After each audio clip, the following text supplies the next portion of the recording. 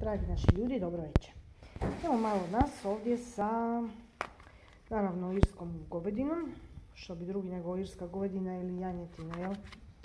Da vidimo, znači tu imamo steak koji ćemo sad pripremati.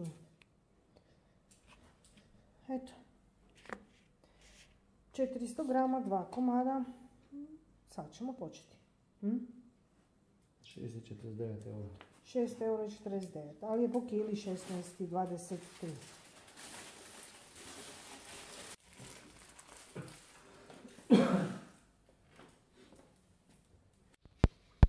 I začinit ćemo evo s ovim začinima.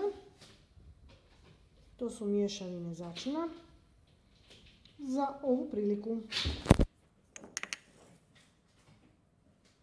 Fino, fino miriše.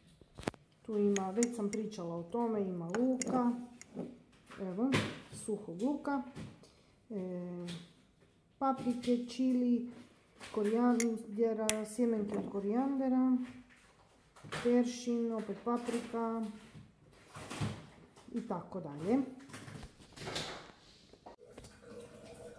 I evo ga naše meso, izvađeno iz ambalaže, sad ćemo ga začiniti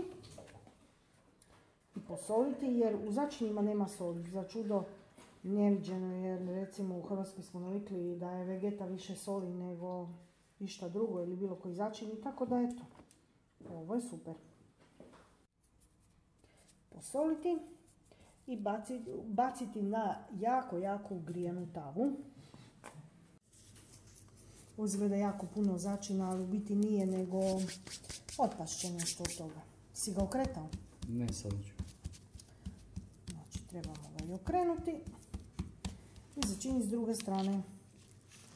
To nije toliko jak, to su stvarno samo sušene i mljevene aromatične biljke plus luk, tako da to će biti fantastično. Već smo isprobali jednom, tako da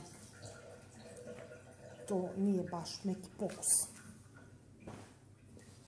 I to sve isto, još jednom s druge strane. I sad ćemo to fino na tavu.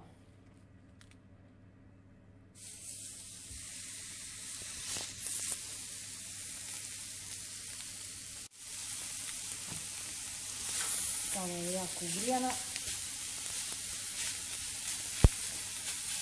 Jedno 4 minute s jedne, 4 minute s druge strane. Dvije minute dobro. Dvije. Dobro. I onda opet to sve skupa u foliju i jako zagrijanu pečnicu.